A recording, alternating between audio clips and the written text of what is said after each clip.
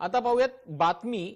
राजेंद्र मिरगणे यांच्या मोर्चाची मात्र त्यांनी जो मोर्चा काढला होता तो स्वतःच्याच पक्षाच्या महापालिकेविरोधात काढलेला होता. त्यामुळे बार्शीत राजेंद्र मिरगणे यांनी काढलेला मोर्चा चर्चेत आलेला आहे.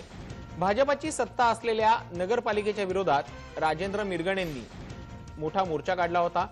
रस्ते घोटाळा कचरा घोटाळा भुयारी गटार योजनेतल्या आरोपांचा निषेध करण्यासाठी त्यांनी मोर्चा काढला होता. शिवसेनेचा या मोर्चाला पाठिंबा आहे. राजेंद्र मिरगणे यांनी काढलेल्या मोर्चा आता हा चांगलाच चर्चेत आलेला आहे. त्यातच या मोर्चाला शिवसेनेनं पाठिंबा दिल्यामुळे आता या मोर्चाला राजकीय रंग सुद्धा मिळालाय.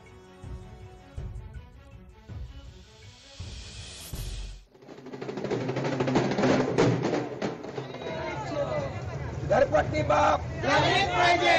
आणि शिवसेना यांच्या माध्यमातून बार्शी नगरपालिकेचा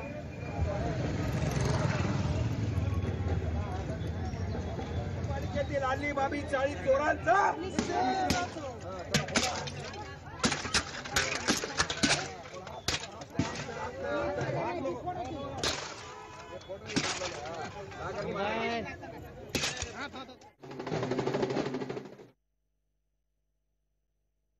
गोरगरीब जनताची माल वा घरं वाहून गेली अन्न पाणी वाहून गेलं. त्या ठिकाणी व्यापाऱ्यांचं अनेक नुकसान झालं शेतीचं नुकसान झालं. हे जर पंचनामे होऊ देत नसतील तोंड बघून पंचनामे होत असतील त्या ठिकाणी किमती लावल्या जात असतील तर मात्र आम्हा दोघाला एकत्र येऊन या ठिकाणी राजकारण हा विषय नाही. समाजकारण करण्यासाठी आम्ही मध्ये भगवान ब्रिगेड दोघांनी काढलेलं होतं. त्याचसाठी काढलं होतं की त्या ठिकाणी पक्षाची काय म्हणतात पादत्राने बाजूला ठेवून या ठिकाणी आम्हाला काम सर्वसामान्य जनतेकरता करता यावं. यासाठीच आम्ही हे करतो. जो काही निकृष्ट दर्जाची कामं केलेली आहेत भुयारी गटर योजनेचं निकृष्ट काम केलेलं आहे त्यामुळे गटरचं घाणेरडं पाणी लोकांच्या घरात घुसलेलं आहे. त्याचबरोबर या नागरिकाला मदत करायची बाजूलाच राहिली परंतु उलट घरपट्टी आणि नळपट्टी पाणीपट्टी हे जोर जबरदस्तीनं वसूल करायचं चालू आहे.